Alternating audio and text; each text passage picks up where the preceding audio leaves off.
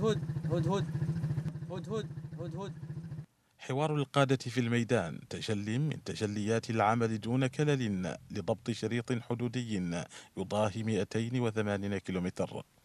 يمتد من مشارف الفلانية في ولاية الحوض الغربي إلى حريجات هلمادو بمركز هامود الإداري في ولاية الأعصاب ويكلف تجمع سرايا حفظ النظام والقتال رقم اثنين بالأعصاب.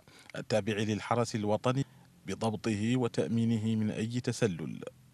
جهود مكنت من ضبط محجوزات كثيرة من بينها السيارات والدراجات النارية والأسلحة والبضائع المختلفة في برهنة ساطعة أن لا مجال لعبور حدودنا في هذا الظرف الحساس.